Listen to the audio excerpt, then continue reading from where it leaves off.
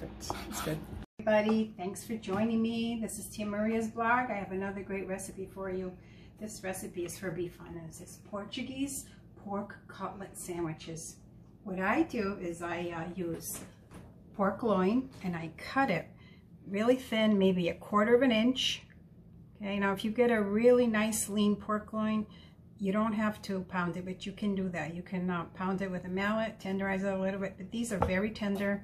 Just use a nice pork loin or pork tenderloin. So what I do is I slice it again, quarter inch thick. You can go a little thicker if you want. And I'm gonna marinate these with some spices. Okay, in this mix, I have some paprika, I have some salt, some garlic powder, some black pepper. Just do a little bit there. And I'm gonna turn them over. So this probably takes a couple tablespoons for these bifanas. Okay, just turn them over.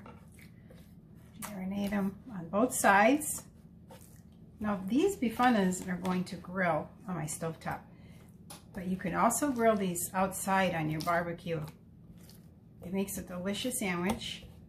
It's a perfect party food too because people just grab the sandwiches and they go. Now this is a classic festa sandwich too. Bifana is the festa. It's classic. And what I so here's another tablespoon of the mix. Now you can find the mix in my cookbook, Taste Portugal More Portuguese Recipes. But all it is is, like I said, a mixture of paprika, garlic, cumin, salt, black pepper, and some piri piri if you like too. Okay, so I, I marinated them. Okay, so I'm going to put them into a bowl.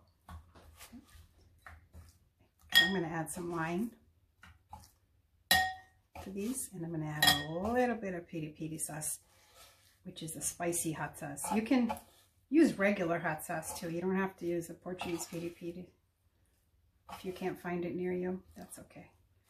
Okay, so all right, so I'm going to add maybe a maybe a quarter cup of white wine to these.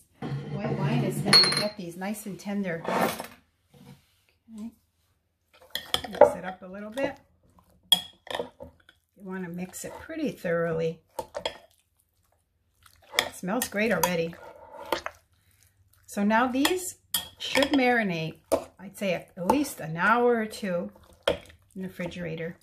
But if you know, you're in a hurry, you could just, um, you know, half hour is fine too. Of course, the longer it marinates, the more flavorful you get. And these are going to, um, I'm going to put them in the refrigerator overnight because that's the best way.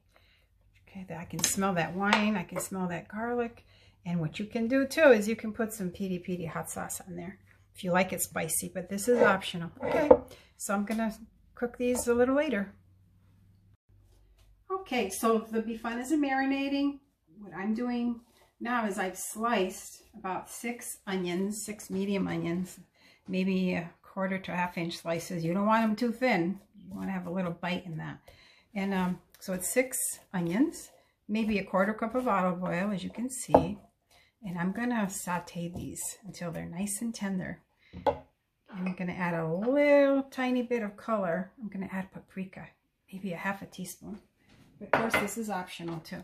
So I'm going to go over to the stove and I'm going to start sauteing these. Okay. All right, so these bifanas have been marinating overnight and they're pretty much ready to cook. So I've taken them out of the refrigerator and let them sit for about 20 minutes to reach room temperature.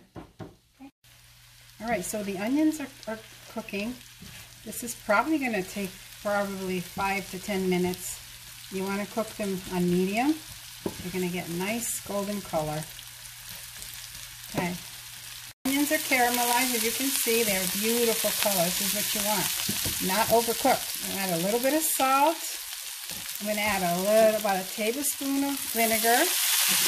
Or you can use wine too. White wine, verde. The vinegar and wine brings out the sweetness in onions. So be sure to do this. It's a neat, neat little trick. All right, so now I'm going to grill the beef bifanas. Okay, so the onions are done. Look at that beautiful caramelization. They're going to be so sweet, so delicious on those beef bifanas. So the beef bifanas are ready to cook. What I did is I put about a quarter cup of olive oil in here. Make sure it's nice and hot smoking. So here we go. Some people fry beef bifanas, but I don't like to fry them because they come out a little greasy. I like to grill them in a little olive oil. You get the nice grill marks. And they come out better. But this is optional. If you want to fry them in your skillet with some olive oil, that's up to you. Now, as I mentioned, you can cook these out on the grill. And it's the same process. Just grease the grill slightly with some cooking spray. Put on those bifanas, and they're going to cook maybe three to four minutes on each side. I'm going to cook them in batches too because if you fry them too much, they steam rather than grill. Okay, so let's start. All right, so it's been about three minutes. I'm going to flip them over. Look at that beautiful color and those nice grill marks.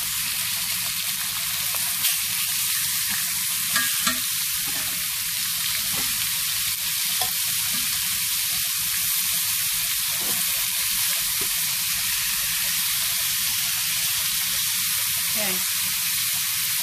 You can see those nice little grill marks, they're beautiful golden color. I'm going to put them onto the plate and I'm going to cook the other batch. Now, as I said, these cooking batches, if you find that the stove gets too hot, just lower the heat and you can add a little more olive oil too. Alright. Alright, so I've cooked both batches of bifanas and I put them both back into this pan. They're cooked. Now I'm going to add the onions right on top.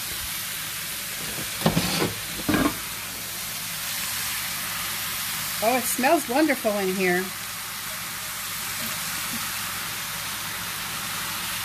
So you just lay those right on top. And I'm, I'm going to turn the oven off. And uh, these are going to sit for maybe like three to five minutes.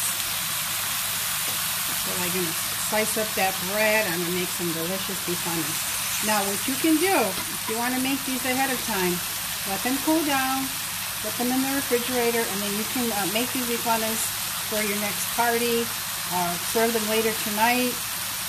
So this is a good, easy recipe that you can prep ahead of time. Okay.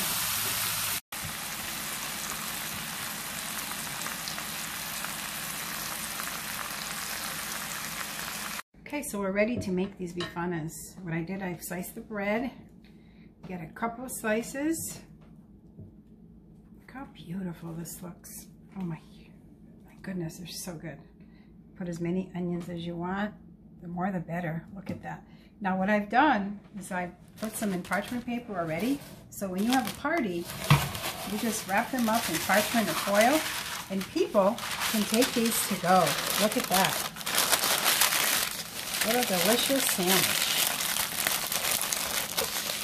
Perfect. They stay warm. You can also put them in foil in the oven. That makes it great too. Bifanas, look at that delicious savory bite. Enjoy. Oh, I'm going to take a bite.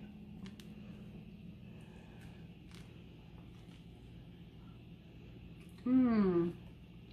That is delicious.